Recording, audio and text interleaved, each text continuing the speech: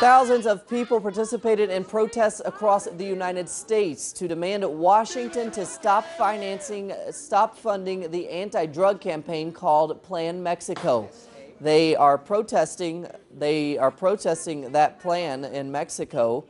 They took to streets across the United States this week and say they will continue they will continue with the hashtag US Tired Too.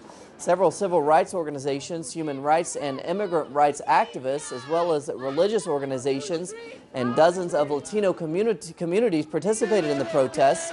In a rare statement to the press, Washington called on Mexico's protesters and the government to remain calm and avoid violence. Oh, okay.